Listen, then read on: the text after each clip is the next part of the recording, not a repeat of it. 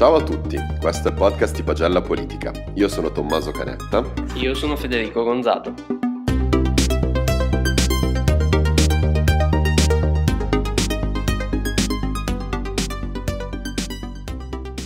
Nella puntata di oggi ci occupiamo per prima cosa delle elezioni amministrative e in particolare di quelle comunali previste per questo ottobre 2021.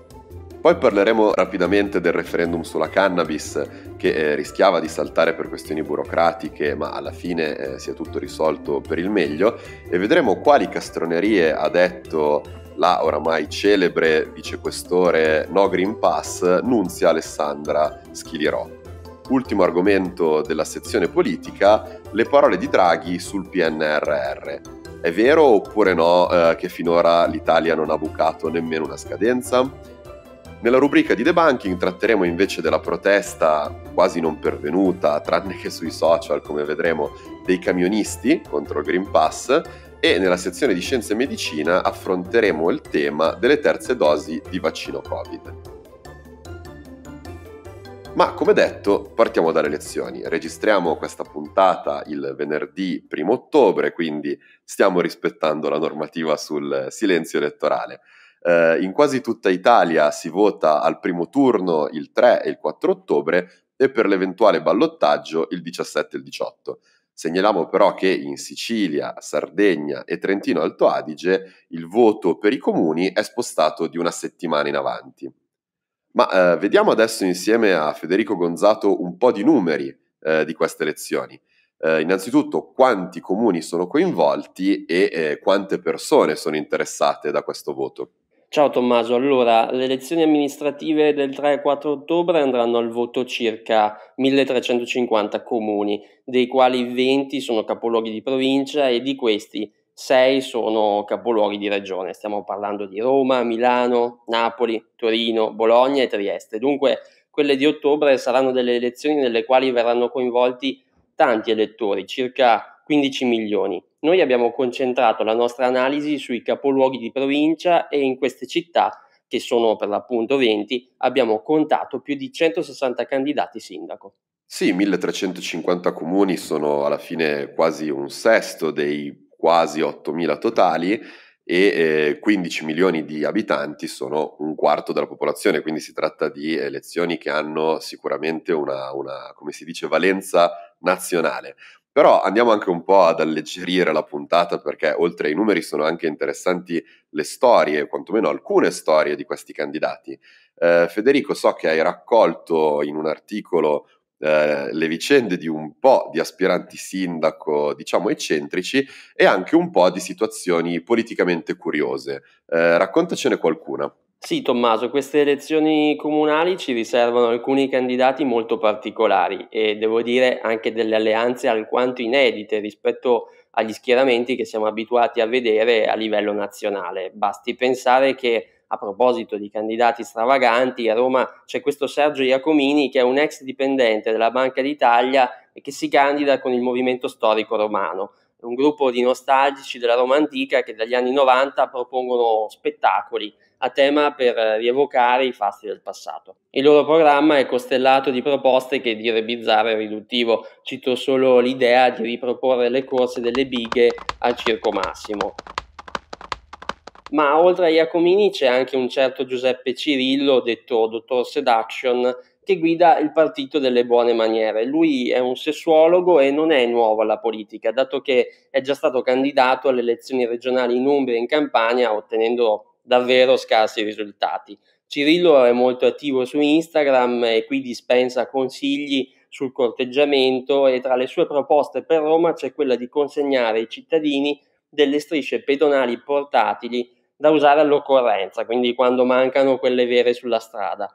Oltre a queste figure un po' bizzarre ci sono anche delle considerazioni politiche però da fare perché in alcuni capoluoghi di provincia sono state fatte delle alleanze fuori dagli schemi a cui siamo abituati. Penso a Carbonia in Sardegna dove il Movimento 5 Stelle si è alleato con il Partito Comunista Italiano contro la lista del PD. Oppure come Isernia dove la destra è divisa e il candidato sindaco di Fratelli d'Italia è stato prima consigliere regionale dell'Italia dei Valori e poi dirigente del PD Molisano. Sì, diciamo che poi la politica quando si scende a livello locale non è nuova a compromessi, alleanze quantomeno strane o non ortodosse. Eh, tra l'altro vedendo tutti i candidati mh, sindaco nei capoluoghi di provincia abbiamo potuto anche verificare come eh, la frammentazione dell'estrema sinistra sia una moda che non è passata. Abbiamo il Partito Comunista Italiano, il Partito Comunista, il Partito Comunista dei Lavoratori, che spesso corrono separatamente e abbiamo visto anche in realtà un proliferare di nuove liste eh, sovraniste come dire, al di là dei partiti storici, classici, eh, ritenuti su posizioni sovraniste, proprio liste sovraniste come Italexit di, di Paragone, ma anche un'altra lista che mi sembra si chiami Riconquistiamo l'Italia, e anche diverse liste Novax. La più famosa è quella del Movimento 3V, ma eh, candidati di area Novax, diciamo che eh, ne, abbiamo, ne abbiamo riscontrati parecchi nelle liste dei capoluoghi di provincia. Ma eh, prima di lasciarti libero, Federico, eh, vorrei tornare un po' ai nostri amati numeri, che eh, per carità saranno anche un po' noiosi da guardare, soprattutto se devi guardare tutti i candidati di tutti i partiti in tutti i comuni capoluogo di provincia, ma eh, poi da questo lavoro noioso di analisi vengono fuori a volte delle cose interessanti. In questo caso, per esempio, eh, abbiamo visto che eh, sui temi della presenza di giovani e di donne in politica anche queste elezioni amministrative di autunno 2021 sono fonte di depressione. Eh, spiegaci un po' il perché. Sì, Tommaso, possiamo proprio dire che quelle di ottobre non sono elezioni per candidati, sindaci, giovani e donne, perché nei capoluoghi di provincia su più di 160 candidati le donne non sono nemmeno il 20%. Addirittura ci sono città in cui non si presenta nessuna candidata sindaco donna, come a Novara, a Caserta, a Isernia, a Savona, Grosseto e Benevento. Per fortuna ci sono anche dei capoluoghi dove c'è anche più di una candidata sindaca, questo è il caso di Trieste che ha tre candidate su dieci pretendenti o di Salerno con tre candidate su nove. Sempre parlando di candidature femminili, è interessante notare come le poche donne candidate non sono quasi mai sostenute dalle coalizioni di centrodestra e centrosinistra. Fa eccezione Carbonia in Sardegna dove qui il centrodestra sostiene la candidatura di Daniela Garau. Il discorso che abbiamo fatto a proposito delle candidature femminili vale anche per i candidati giovani perché dalle nostre verifiche è emerso che gli under 40 candidati sindaco nei capoluoghi di provincia che andranno al voto sono solo 22 su più di 160 candidati, circa il 13%. E anche in questo caso le città in cui i giovani candidati sindaco sono sostenuti dalle coalizioni di centrodestra o centrosinistra sono una netta minoranza. Sì, insomma, possiamo dire che le percentuali di donne e di giovani, e poi tra l'altro bisogna considerare che a volte sono le stesse persone, cioè magari è una donna con meno di 40 anni, sono veramente scoraggianti. Come dicevi tu, il, il 18% circa di donne il 13% circa di eh, under 40 e oltretutto spesso candidati di liste che non hanno particolari chance di vittoria, almeno secondo i sondaggi le coalizioni principali di centrodestra e centrosinistra, come ricordavi tu, hanno candidato giovani o donne davvero in una minoranza dei casi. Grazie allora a Federico Gonzato.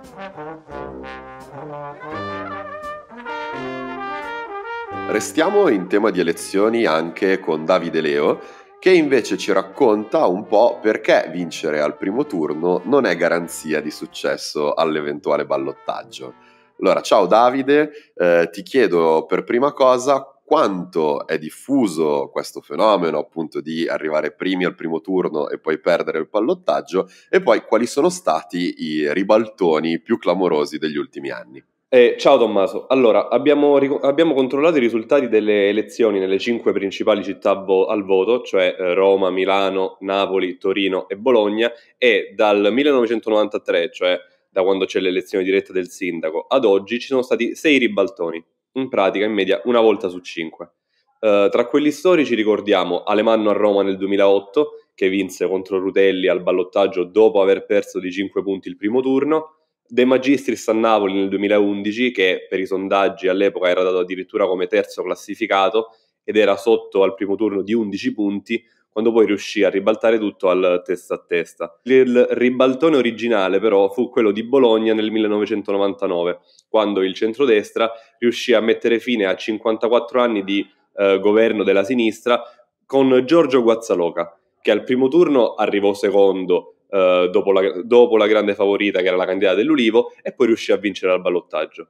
Quindi appunto questi ribaltoni non sono così, così rari. Un'eccezione in questo senso però è Milano, eh, in cui dal 93 ad oggi chi ha vinto al primo turno è riuscito sempre a riconfermarsi e ad arrivare a Palazzo Marino.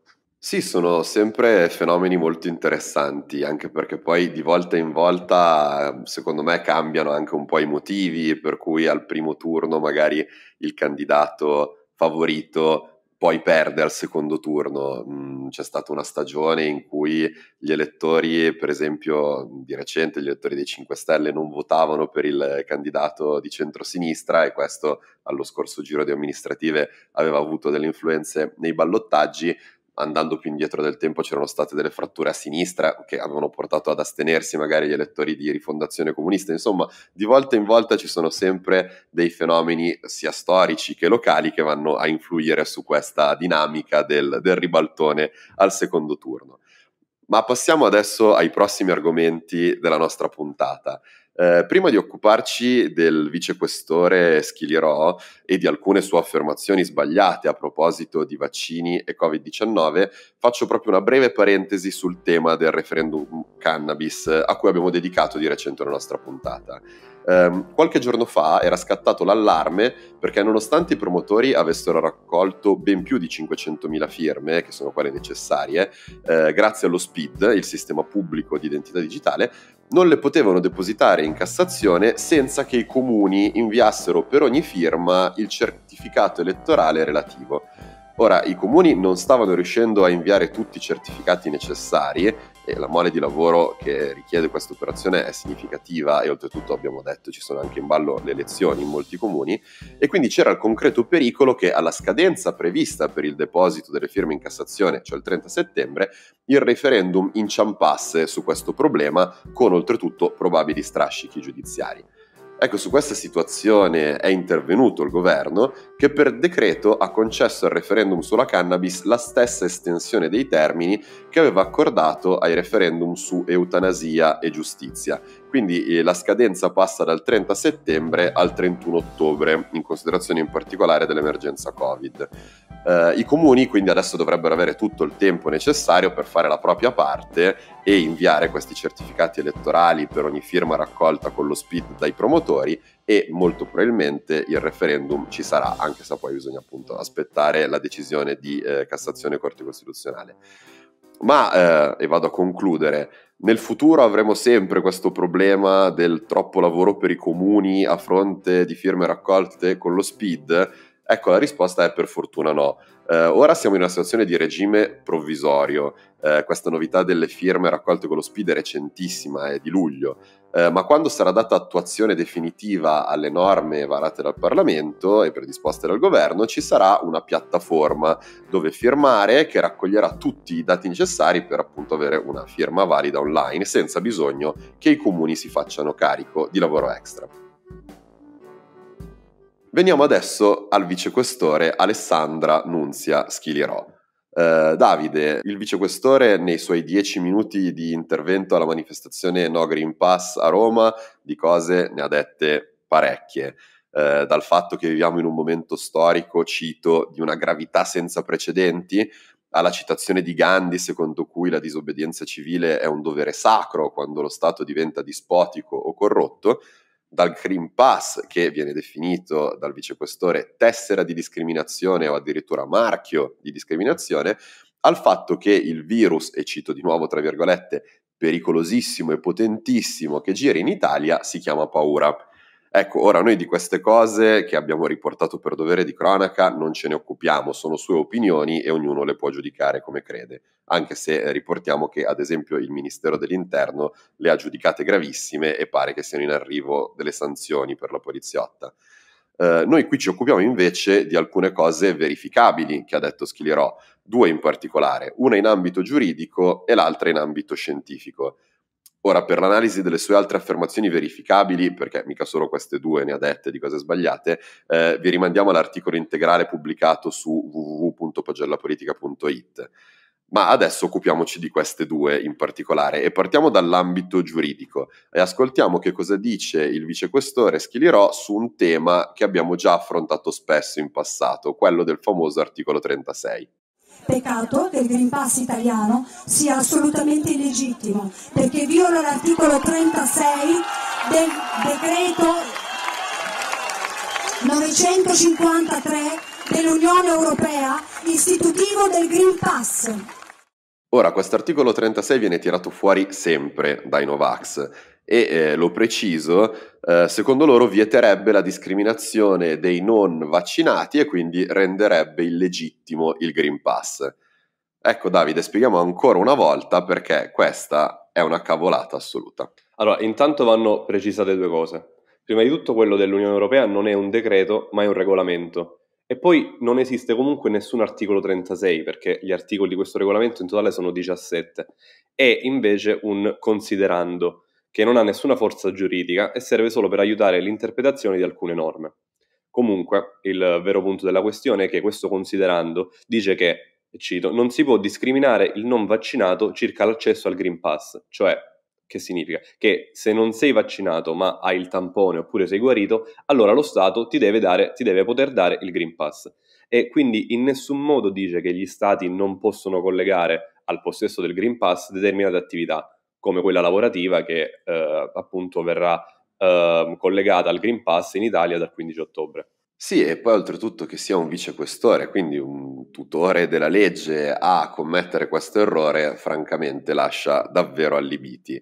Veniamo invece a un'altra questione eh, su cui, come dire, magari invece è legittimo che un vicequestore sia più ignorante, ma su cui eh, purtroppo di nuovo è stata fatta moltissima disinformazione che sembra eh, abbia quantomeno contagiato anche eh, Schilirò. Ascoltiamola di nuovo un certificato che non ha alcuna base scientifica e questo ce lo dicono dati reali, dati che arrivano dai media di Israele, dell'Islanda, dell'Australia, dati che ci dicono che i vaccinati si ammalano, contagiano e a volte si ammalano anche gravemente, come tutti gli altri.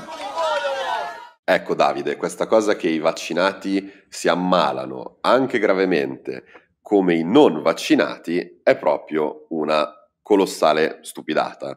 I nostri ascoltatori ormai lo sapranno perché abbiamo dato i numeri oramai cento volte, ma eh, ribadiamo il concetto ancora una volta in sintesi. Ovviamente è vero che anche i vaccinati possono ammalarsi e possono contagiare, però in generale bisogna dire che i vaccini proteggono bene dall'infezione e proteggono benissimo dal ricovero, dalla terapia intensiva, addirittura dal decesso.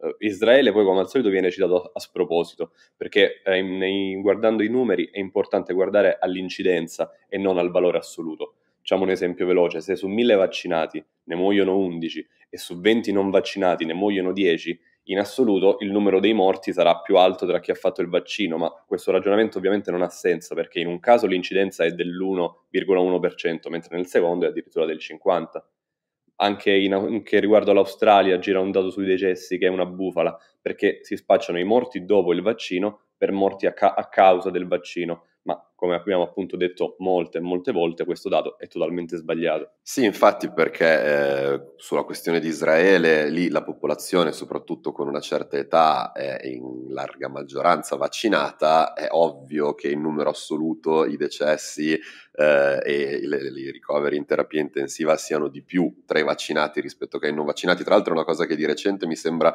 sia successa anche in Italia dove in base agli ultimi eh, report dell'Istituto Superiore di Sanità si è visto questo sorpasso in numeri assoluti, ma guardare i numeri assoluti, come dicevi giustamente, non ha alcun senso, bisogna guardare all'incidenza. E sull'Australia, allo stesso modo, guardare questi dati che vengono tra l'altro citati costantemente dall'europarlamentare della Lega Donato in tv sul fatto che ci sarebbero migliaia di decessi che vengono riportati dal sistema europeo di sorveglianza, Ecco, eh, bisogna però specificare che vengono riportati come successivi, non come collegati e anzi bisogna tenere in considerazione che anche prima che esistesse la Covid-19, eh, persone anziane in condizioni di fragilità eh, morivano, mh, giovani in buona salute avevano, per fortuna con un'incidenza statistica bassissima, casi di trombosi o altre malattie, bisogna vedere come questi numeri sono stati modificati prima e dopo in realtà quello che ci dice la scienza è che una minoranza piccolissima